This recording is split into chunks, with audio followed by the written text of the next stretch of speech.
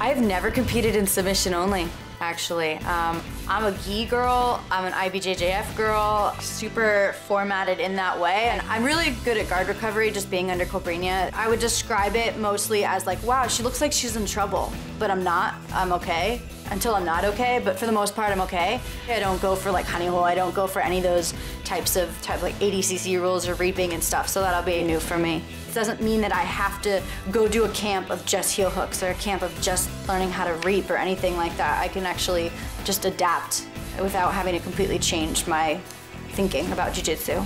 This is really huge for women to get paid, just in general, just being a female who can get such a large amount of money in a day's work. Erin Herle, brown belt representing Cobrinha BJJ, and I'll be fighting at EBI 12, the female flyweights. Watch live on UFC Fight Pass.